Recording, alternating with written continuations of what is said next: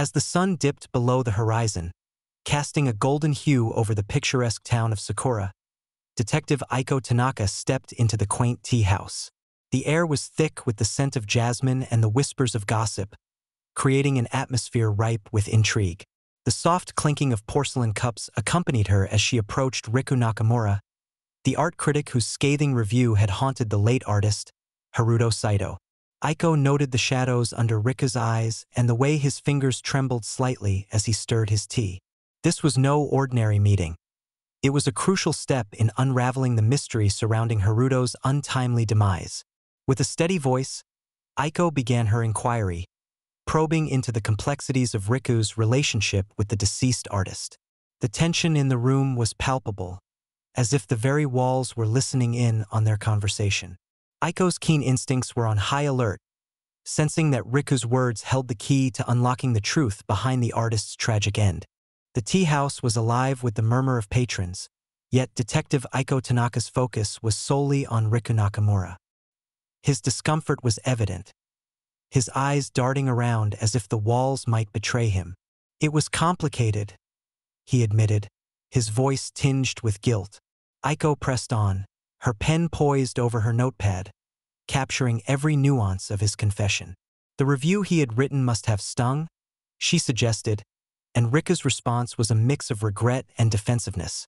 I didn't mean for it to hurt him, he confessed, his voice cracking under the weight of his emotions. The tension in the room was mirrored by the cherry blossoms outside, dancing in the evening breeze.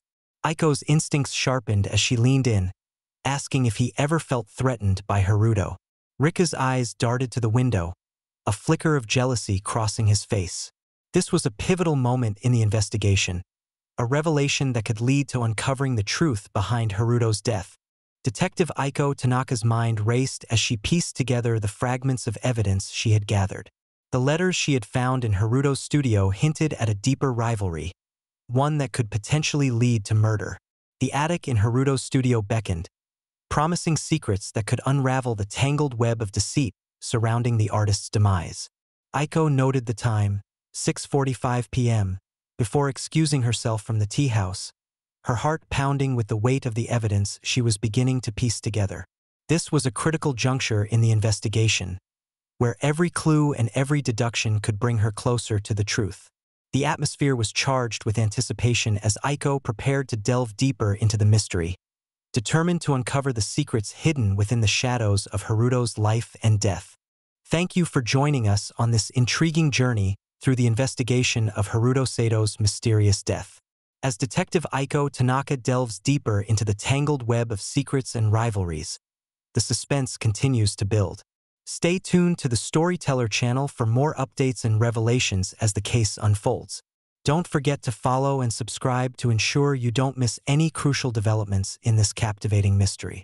Join us as we continue to explore the depths of detective work, uncovering the truth one clue at a time.